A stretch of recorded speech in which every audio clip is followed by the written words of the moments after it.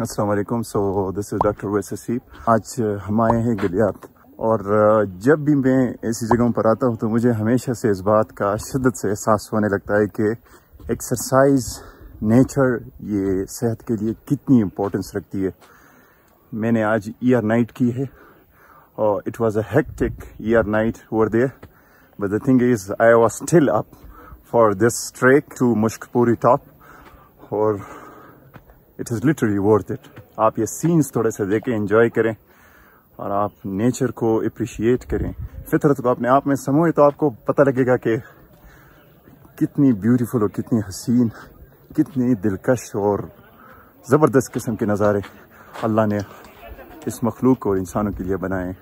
دنیا میں آپ کے یوزفل ہونے کا یہ ثبوت تقریباً کافی ہو جاتا ہے کہ اگر آپ دنیا میں کسی پازیٹیوٹی کو خیر کو اور رائٹ تھنگس کو سپورٹ نہیں کر سکتے اور آپ کنٹریبیوٹ نہیں کر سکتے. Anything good right and positive تو آپ اگر اپنے حصے کی تاریکی سے دنیا کو بچائیں اور اپنے حصے کی گند سے دنیا کو بچائیں تو آپ کا دنیا پہ یہ سب سے بڑا احسان ہو سکتا ہے. یہاں پہ بارش شروع ہو گئی تھی، اتنی تیز بارش تھی۔ ابھی رک گئی ہے تقریباً آدھے گھنٹے بعد۔ تیز بارش، زبردست قسم کا ایکسپیرینس ابھی تو راستہ سلپری ہے، مجھے احتیاط سے جانا پڑے گا۔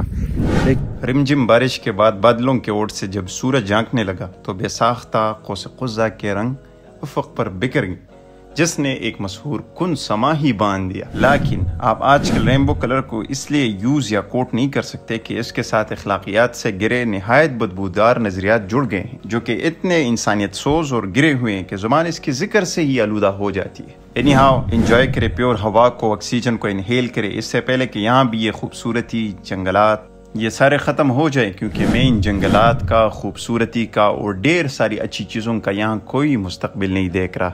Until next time this is doctor Wais Haseeb signing of انشاءاللہ سیاہ بال کے نفس سے ہلالے کی آگ تیز۔ ایسے غزل سرا کو چمن سے نکال دو۔